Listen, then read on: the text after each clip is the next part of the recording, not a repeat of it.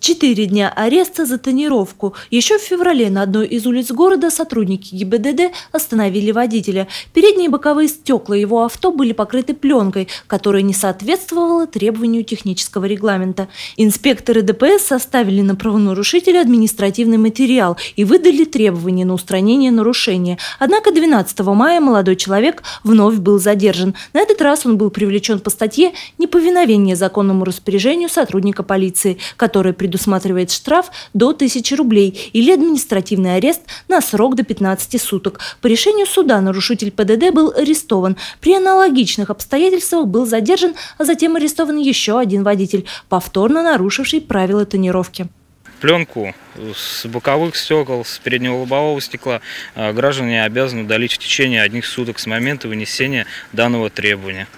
Э, исходя из практики э, подобных случаев, судьи, как правило, принимают решение в виде административного ареста, поскольку э, гражданин уже был предупрежден в том, что он совершает административное правонарушение, однако по каким-то причинам это не понял.